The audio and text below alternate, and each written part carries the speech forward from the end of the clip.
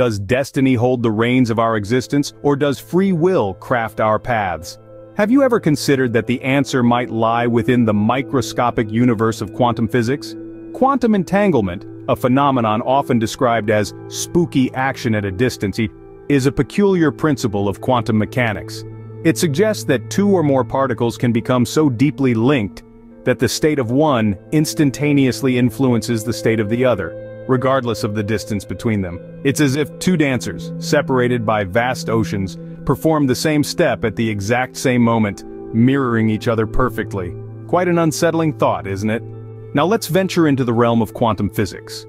It's not merely about tiny particles. Instead it's a theory that describes the very fabric of our universe at its most fundamental level. It's a world where particles can exist in multiple places at once, where time can flow backward, and where nothing is certain until observed. Imagine for a moment a cat in a box that is both alive and dead at the same time, until someone opens the box to see. Welcome to the perplexing world of quantum physics where reality as we know it takes a back seat. Finally, we delve into the enigmatic world of string theory, where the fundamental particles of the universe are not zero-dimensional points, but one-dimensional strings. Picture, if you will, a universe not made up of tiny billiard balls, but of minuscule vibrating strings of energy. Each different vibration corresponds to a different particle and thus, the universe plays out its symphony. But how does all this tie into destiny and free will? Could it be that our lives, like those entangled particles, are influenced by a cosmic dance we can't perceive?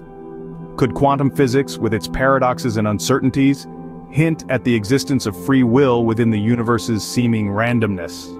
And could string theory with its harmonious vibrations be the melody of destiny that we're all dancing to?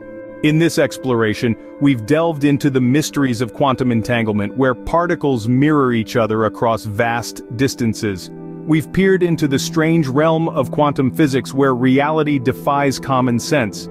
We've pondered upon string theory, where the universe might be a symphony of vibrating strings, yet the question remains, are we puppets of destiny, or are we free agents carving our own paths? Perhaps the answer lies not in one extreme or the other, but somewhere in the middle, in the beautiful interplay between destiny and free will, between the cosmic dance and the individual steps we choose to take. So while we may follow the rules, abide by laws, achieve education, and work for prestigious companies, perhaps there's a quantum melody playing in the background, influencing our dance of life in ways we're only beginning to understand. Remember, the universe doesn't reveal its secrets easily, but that doesn't mean we should stop seeking. After all, the quest for knowledge and understanding is what makes us uniquely human.